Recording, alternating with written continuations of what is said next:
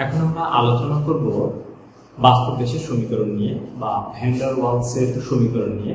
এর আগে আমরা জেনে নিব আদর্শ গ্যাস কাকে বলে বাস্তব গ্যাস কাকে বলে যে সকল গ্যাস সম্পদ, তাপমাত্রা ও চাপে আদর্শ গ্যাসের সমীকরণ অর্থাৎ পিভি সমীকরণটি মেনে চলে, তাদেরকে বলা হয় আদর্শ গ্যাস। এবং যে সকল গ্যাস সকল তাপমাত্রা ও চাপে পিভি ইকুয়াল এনআরটি এই সমীকরণটি মেনে চলে না, তাদেরকে বলব বাস্তব গ্যাস। তাহলে বাস্তব গ্যাসের সমীকরণটা আসলে কি হতে পারে?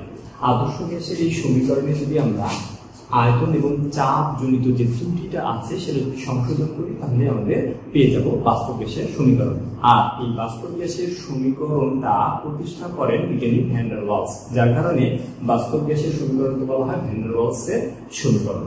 বিজ্ঞানী ভ্যান্ডারওয়ালস লক্ষ্য করেন যে বাস্তবে যে গ্যাসগুলো পাওয়া যায়, এই গ্যাসগুলো আসলে আদর্শ গ্যাসের মতো কেন আচরণ করে না? অর্থাৎ আদর্শ গ্যাসের সমীকরণ এনআরটি কেন মেনে চলে না? তিনি লক্ষ্য করেন যে গ্যাসের গতিতত্ত্বে যে স্বীকার্যগুলো আছে, তাতে দুটি ত্রুটি আছে। একটি হলো যে বলা হচ্ছে গ্যাস আধারের আয়তনের তুলনায় গ্যাস অণুগুলোর আয়তন অতি নগণ্য এবং আরেকটি ত্রুটি হচ্ছে গ্যাসের অণুগুলোর মধ্যে কোনো আকর্ষণ বা বিকর্ষণ নেই। আসলে বাস্তবে এটা সত্যি নয়। যার কারণে তিনি বাস্তব গ্যাসের ক্ষেত্রে সমীকরণ প্রতিষ্ঠা করতে গিয়ে আদর্শ গ্যাসের সমীকরণের আয়তনজনিত যে ত্রুটিটি আছে এবং চাপজনিত যে ত্রুটিটি আছে, সেটি সংশোধন করেন। এবার আমরা দেখে নিব আয়তন জনিত যে ত্রুটি আছে, সেটা কীভাবে সংশোধন করা হয়। গ্যাসের গতিতত্ত্বের স্বীকার্যে বলা হয়েছে যে গ্যাস আধারের আয়তনের তুলনায় গ্যাস অণুগুলোর আয়তন খুবই নগণ্য। কিন্তু বাস্তবে কথাটি সত্য নয়। এই জন্য ঠিক সত্যি নয়, কারণ অতি উচ্চ চাপ এবং নিম্ন তাপমাত্রায় গ্যাসগুলো তরলে এমনকি কঠিনেও পরিণত হয়। যেহেতু কঠিন এবং তরলে তার নিজস্ব একটা আয়তন আছে, সুতরাং তাদেরকে কখনোই নগণ্যে পরিণত করা যাবে না।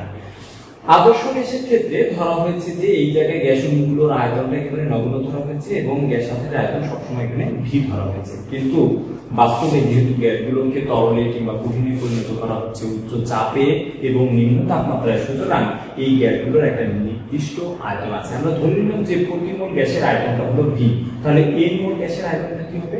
এন বি সুতরাং গ্যাস আধারের আয়তন যদি আমরা নির্ণয় করতে চাই, তাহলে মোট আয়তন থেকে এই এন মোল সংখ্যক অণুর আয়তনটা বাদ দিতে হবে। তাহলে সংশোধিত আয়তনটা হবে V equal to V equal to V minus N B এটাই বাস্তব গ্যাসের জন্য সংশোধিত আয়তন। এবারে আমরা জানব চাপ সংশোধনের ব্যাপারে। গ্যাসের গতিতত্ত্বের আরেকটি ত্রুটি ছিল যে গ্যাসের অণুগুলোর মধ্যে কোনো আকর্ষণ বা বিকর্ষণ নেই। কিন্তু বাস্তবে এটা ঠিক না, কারণ গ্যাসগুলোতে যখন উচ্চ চাপ প্রয়োগ করা হয় এবং নিম্ন তাপ প্রয়োগ করা হয়, তখন গ্যাসগুলো তরল এবং কঠিনেও পরিণত হয়।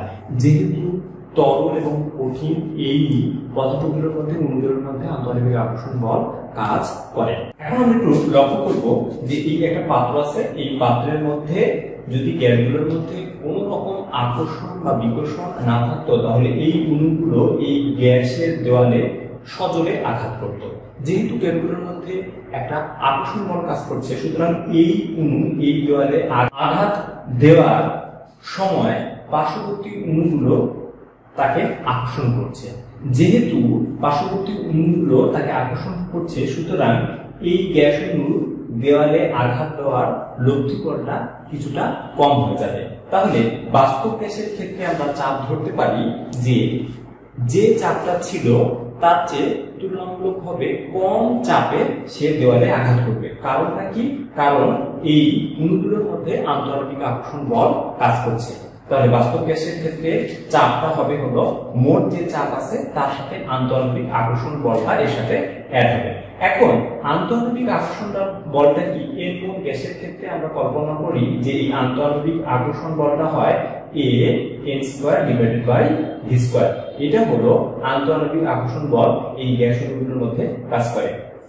তাহলে বাস্তব গ্যাসের ক্ষেত্রে চাপের সংশোধন আমরা লিখতে পারি যে মোট যে চাপ ছিল, এই চাপের সাথে এক্সট্রা ভাবে সংযুক্ত হবে আন্তঃআণবিক আকর্ষণ বলের পরিমাণ। তাহলে আদর্শ গ্যাসের যে সমীকরণটা আমরা জানি EV equal to N R T এই ক্ষেত্রে যদি আমরা চাপের সংশোধনটা বসিয়ে দিই P plus A N square divided V square এবং এই জায়গায় আয়তনের সংশোধন যদি বসিয়ে দিই, তাহলে যে সমীকরণটা পাবো সেটা কি বলব আমরা? ভ্যান্ডার ওয়ালসের সমীকরণ বা বাস্তব গ্যাসের সমীকরণ। এখন এখানে এন সমান সমান প্রকাশ করছে হলো মোল সংখ্যা এবং এ ও বি প্রকাশ করছে ভ্যান্ডার ওয়ালস গ্যাস ধ্রুব এখন পরীক্ষা অনেক সময় আসে যে বত্রিশ গ্রাম অক্সিজেনের ক্ষেত্রে ভ্যান্ডার ওয়ালসের সমীকরণটা লিখো। তাহলে বত্রিশ গ্রাম অক্সিজেন মানে কি হচ্ছে? এক মোল অক্সিজেন, অর্থাৎ এন সমান সমান ওয়ান তাহলে সেই ক্ষেত্রে ভ্যান্ডারওয়ালসের সমীকরণটা হবে যে পি প্লাস আর টি তাহলে বত্রিশ গ্রাম বা এক মোল অক্সিজেনের ক্ষেত্রে ভ্যান্ডারওয়ালস সমীকরণ বা আদর্শ গ্যাসের সমীকরণটা হবে এরকম। আবার যদি বলা হয় যে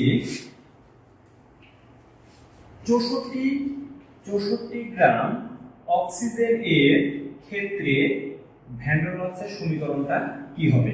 তাহলে আমরা জানি যে m ইকুয়াল টু কত? W ডিভাইডেড বাই m তাহলে কত? 64 গ্রাম 64 এখানে বসিয়ে দিলাম। আর অক্সিজেনের আণবিক ভর 32 তাহলে আমাদের এখানে n এর মান আসবে 2 এই 2 মানটা এখানে বসিয়ে দিলেই আমরা পেয়ে যাব যে 64 গ্রাম অক্সিজেনের ক্ষেত্রে ভ্যান্ডারওয়ালসের সমীকরণটা কি? এখন n সমান সমান কত হবে? 2 তাহলে এই সমীকরণটা আমরা লিখতে পাই এরকম একটা সমীকরণ। আশা করছি তোমরা বুঝতে পেরেছ।